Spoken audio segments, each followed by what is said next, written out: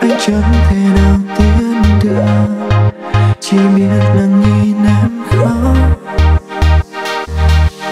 anh chôn cất như em đang nghĩ đau I know.